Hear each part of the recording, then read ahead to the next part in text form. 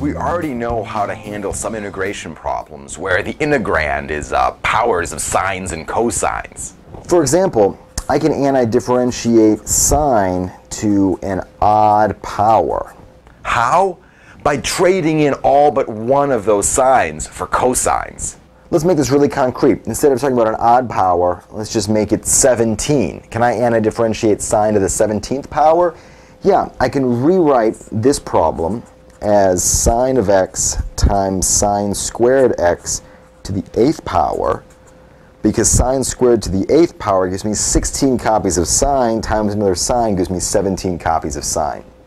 Now I can trade sine squared for some cosines, right? Sine squared is 1 minus cosine squared to the 8th power so if I can do this anti-differentiation problem, all I need to do is to do this anti-differentiation problem.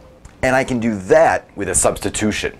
So make the substitution u equals cosine x, and in that case, du is minus sine x dx. Now maybe you're complaining you don't see a minus sign, you only see sine, but I'll just put a pair of canceling minus signs there. Now I see a minus sine x dx, so I've got a du and the rest I can write in terms of u. Uh, specifically, this becomes negative the antiderivative of 1 minus u squared to the 8th power du is what's left over, and this is an antidifferentiation problem that I can do.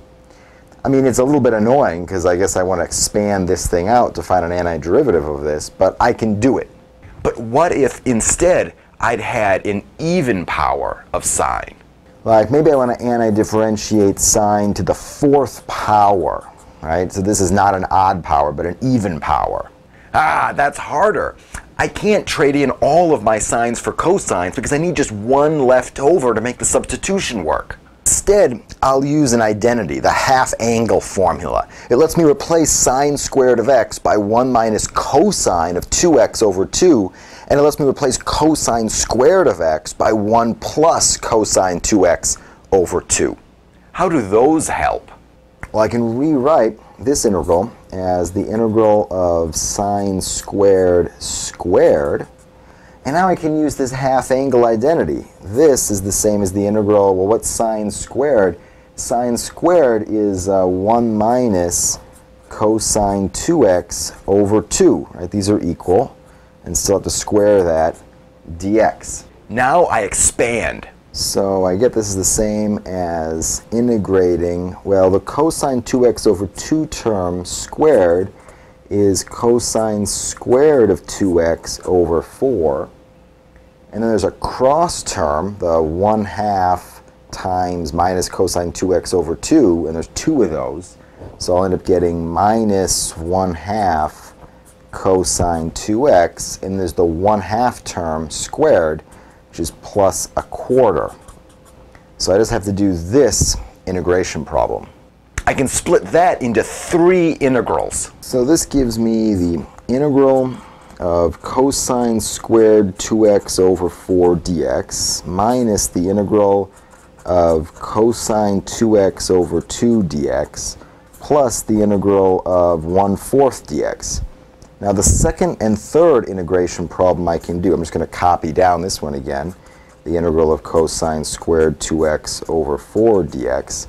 This here, well, I could do this by making a substitution, u equals 2x, say, and then I'll get that this is sine of 2x divided by 4. And if I integrate a quarter, I get 1 fourth x. What about that first one? How do I integrate cosine squared? So to handle this, I can repeat the trick with the half angle identity, but I'm looking at integrating cosine squared 2x, so I'll replace x by 2x, and that'll turn this into a 4x. So I can use this identity. How does that go? Well, I get, instead of this, the integral of 1 plus cosine 4x and instead of over 4, it's now over 8. And then I'll just copy down these things again. Sine 2x over 4 plus a quarter x. Now I can put it all together. So I want to anti-differentiate 1 eighth. And I get 1 eighth x. And then I want to anti-differentiate cosine 4x over 8. and I get sine of 4x over 32. And then I'll include the rest. So I'll subtract sine of 2x over 4. I'll add a quarter x, and I'll add some constant. And I could combine the 1 quarter x and the 1 eighth x, so I could write this as 3 eighths x plus sine of 4x over 32 minus sine of 2x over 4 plus c. I should say that in some cases you can get away doing a bit less work.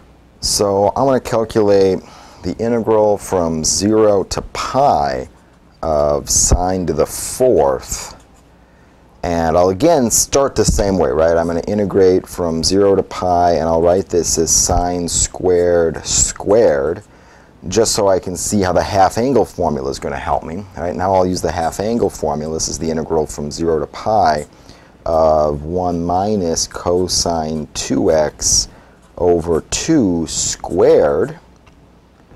But now what do I want to do? I'll expand that out again. So this is the integral from 0 to pi of 1 fourth minus the cross term is 1 half cosine 2x and then plus the cosine term squared, cosine squared 2x over 4.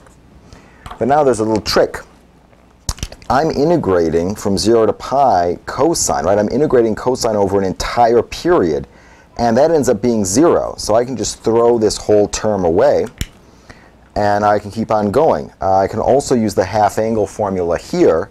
So this is the integral from 0 to pi of, well, I've still got the 1 fourth plus, and then what does this become by the half angle formula? This is 1 plus, and instead of 2x, it's cosine 4x over 8 but now again, if I integrate cosine 4x, x going from 0 to pi, that's integrating cosine over two complete periods. That ends up canceling, so I can just throw that term away.